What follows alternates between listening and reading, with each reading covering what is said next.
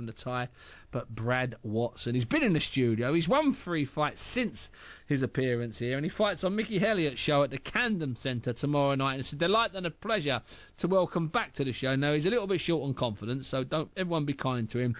Brad the Glamour Boy is on the line. Good evening, Brad. How you doing? You? I'm doing fantastic. How are you doing? Good? Yeah, Yeah. wicked, mate. Good. The, the, the, everything okay? Because it's been a bit slow, hasn't it? Really, with you. Yeah, it's been a bit slow. Um, Is it going to pick up? Yeah, I've had a few personal problems, but uh, everything's been popped on me, and uh, I'm ready to go now. Have you sorted out the personal stuff? You, you, Yeah, yeah, everything's sorted out, mate.